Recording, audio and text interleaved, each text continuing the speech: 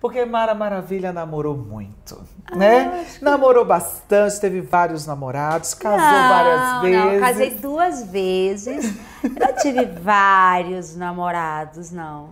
Não, não foi tantos assim. Não, senão eu não tinha casado duas vezes. Só no primeiro casamento eu fiquei com a pessoa quase 15 anos. Mas aí Vamos eu quero... combinar. É.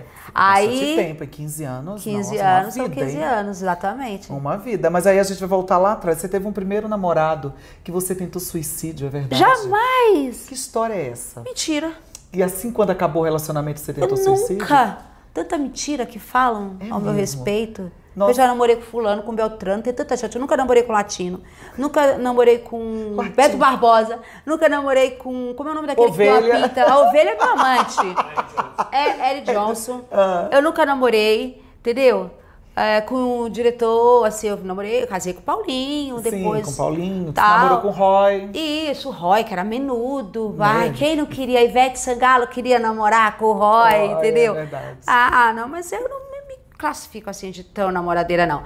Eu era muito assim, né?